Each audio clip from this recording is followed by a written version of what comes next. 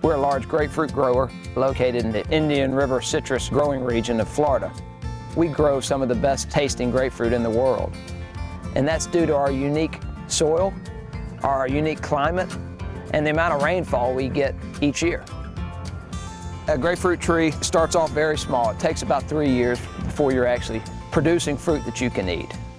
These trees are probably 25 to 30 years old, and at that age, they're really producing some of the best tasting grapefruit. About early March, they'll produce a flower. Most of those flowers will fall to the ground, but some of them will remain and produce a grapefruit. And so that grapefruit starts off in March. By October, it's ready to be picked.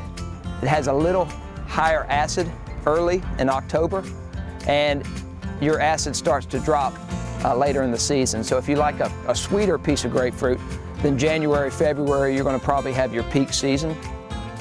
They have to use ladders to get to the tops of the trees because they are so large. So they'll reach up, find a piece of grapefruit, and they twist it as they pick so that it doesn't damage the fruit.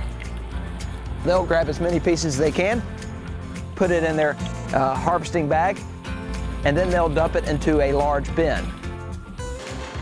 That bin will be transported to a packing house where it will be washed and waxed. So the piece I picked today will be packed tomorrow and will probably be shipped the day after. So within two days, it goes from picking to being delivered to the supermarkets. One thing that separates Florida grapefruit from other grapefruit around the world is just how juicy and sweet it is. As you can see, a, a Florida grapefruit is extremely juicy. My name is Tom Mitchell, and I grow grapefruit fresh from Florida.